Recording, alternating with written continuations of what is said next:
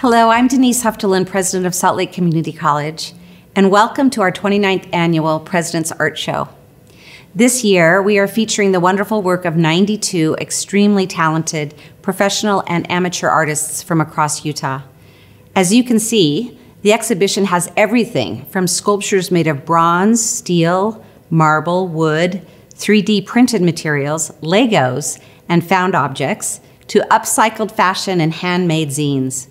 Also displayed are many forms of printmaking, photography of all kinds, drawings, paintings, quilts, collages, digital art, wood burning, glass, ceramics, and a wide array of mixed media. It's lovely to see such a wide variety of works from a very diverse group of very gifted artists.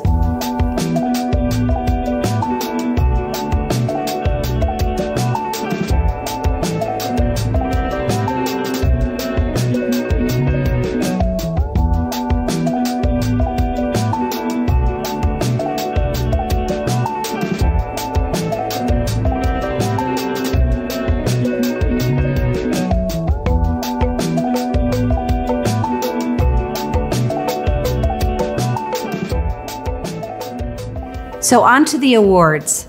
I want to give special thanks to our community judge, Jill Borst, who heads the Salt Lake City office for Goldman Sachs. We know she is very busy because the Salt Lake office is the company's fourth largest in the world and employs more than 3,000 people across the Wasatch Front. So we appreciate her taking her very valuable time out of her busy schedule to support our show. I am honored to be here to present the Community Award for the 2023 Art Show. Uh, I believe the community should get five awards, 10 awards, but I'm going to award one.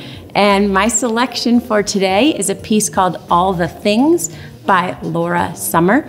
This piece evokes all the things that we love about Salt Lake City the mountains, the sunsets, the creeks, the rivers, and she gives really special movement by using a technique called quainting, quilting and painting. And when I look at the skies, when I look at her quilting and her stitching, um, it really creates movement from the top all the way down to the bottom. So congratulations, Laura, on your community award. Our next award is the Dennis Klaus Honorary Award. Dennis is SLCC's Vice President for Finance and Administration Emeritus, and he has chosen Pose Raven by Mark B. Goodson.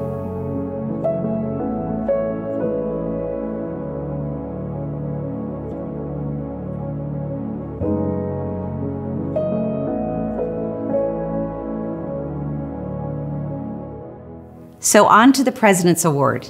It's never easy for me to choose a single work to honor, and this year was no exception.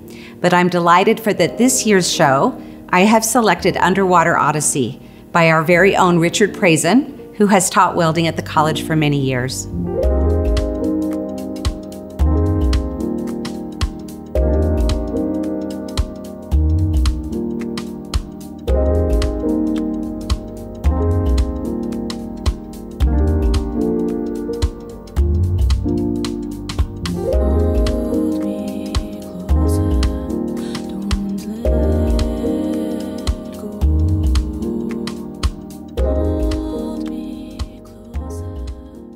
I'd now like to take a moment to introduce our community judges who selected the exhibition's Best in Show and second and third placed winners. Many thanks to each of you for sharing your expertise with us. Essie Abusu, a local artist who has curated several exhibits for Urban Arts Gallery. Jared Stephenson, curator at the Utah Museum of Contemporary Art. And Nancy Stokes, curator at the Kimball Art Center in Park City. We chose Keep Asking by Julie Berry as the third place winner in this show.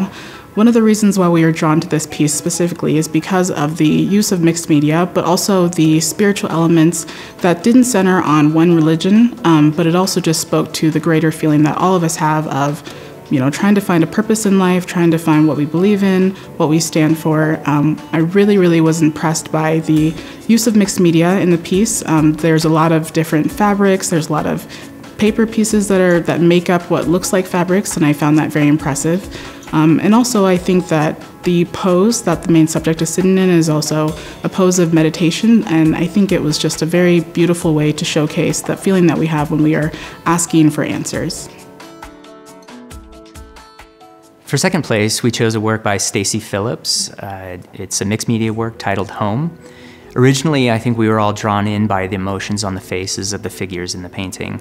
And as we drew closer and started to look at the work, uh, little bits of details started to reveal themselves to us. So we, we noticed the fabric. Uh, we noticed that it was collaged. We noticed there were some pieces or parts of the painting that were unfinished and all of those lent to this this feeling of uh, displacement or something that feels unfinished in general. And then you start to look at what those patterns and the colors and the fabric look like, and they have a Middle Eastern feel to them. So it's hard not to think about current events and think about refugees and populations that are being displaced currently. Uh, and I think for those reasons, um, we felt it was uh, worthwhile of being in the top three. For first place, we've awarded Creeping Up on Me by Alison Stosich, and we hope that we're pronouncing that correctly. Um, one of the reasons why we chose this piece is because um, it, the theme of it was anxiety, and that's a feeling that's very universal that all of us can understand and have felt it many times. Uh, one of the things that um, Allison had put in her artist statement was that we all have that feeling of bees within us, without us, whenever it comes to anxiety. But also, I thought what was really interesting was she mentioned that sometimes you forget the bees are there and you forget that they care for you, and sometimes there's a comfort in having that, which I think is a part of anxiety and mental health that a lot of times we don't talk about. Sometimes you can become so used to how it feels to have anxiety or how it feels to deal with certain mental health aspects. Um, and I thought that we thought collectively that that was such a universal experience and such an important thing to touch on. Yeah, and on top of that, we were really impressed by the technical abilities within the work, uh, knowing that it was uh, a combination of a live uh, casting, uh, along with constructing each one of the bees individually out of wax and then applying them there. Uh, and then again, the level of detail that you're able to pull out in the piece, where you can look at the, the texture in the skin and in the fingernails, and also the, the level of detail in the bees. We were also drawn in by, by those things as well. Congratulations to everyone, especially our winners. We are humbled by your remarkable talents. Thank you. The President's Art Show will run Monday through Friday from November 10th until November 27th. And for more information about the show, as well as a virtual tour, check out our website, slcc.edu slash art show.